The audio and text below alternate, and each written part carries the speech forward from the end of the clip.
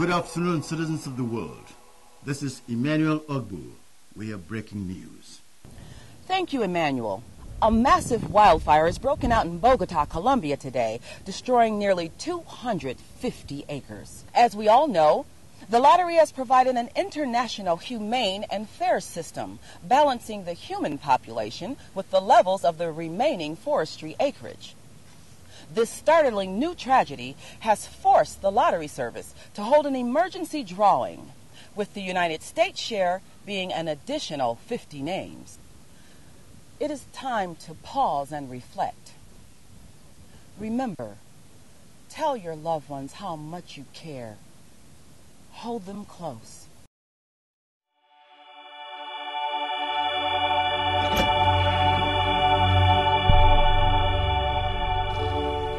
Buddy? Hey, hey, buddy, what's the matter? Come here. Come here. Look at me. Why are you crying? Come here. What's going on? Dad, Huh? What? you kill all those people. What are you talking about? I don't kill anybody.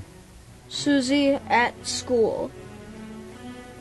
Yeah. Her brother was taken yesterday.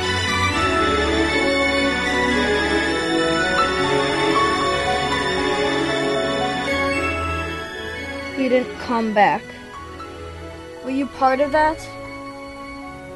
Buddy, Do you know about that? I only know what I'm told. That's all. And that's look, I'm doing a job. And I'm doing this job for for you and your mother. Do you understand that? Do you understand that everything that we have right now, the the life that we've lived is because I do this job. What if my name comes up in the lottery? Don't- What if it comes up?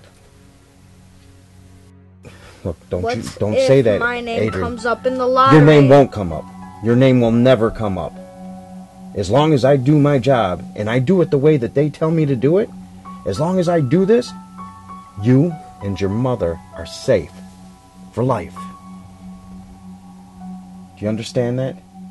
I'm Yeah. doing this for you guys. Because I love you. Okay? Come here.